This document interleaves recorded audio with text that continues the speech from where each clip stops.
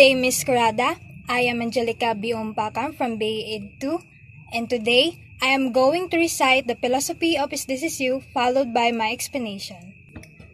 Philosophy of SDSSU SDSSU believes that higher education is an instrument for the improvement of life through democratized access to quality education and the development of well-rounded person. So now is my explanation. It is important to have a higher education instrument, especially to the students of SDSSU, because if, if we have this instrument, SDSSU can produce or build a skilled, knowledgeable, productive, and a professional graduate.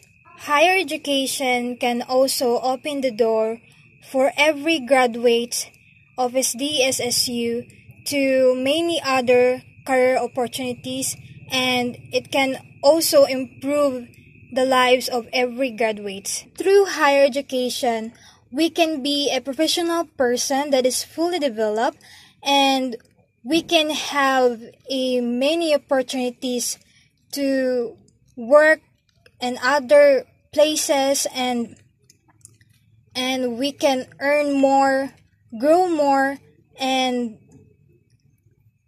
be a productive person. Moreover, higher education also give more benefits to the students and to the graduates, like securing a higher income, developing problem-solving skills, improve economy, provide a pr- prosperous and happy life, improve academic performance, adequate knowledge, improve student skills, and etc.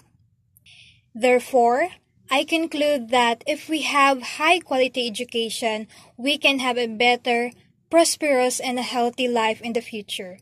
And we can have a improved economy in the future.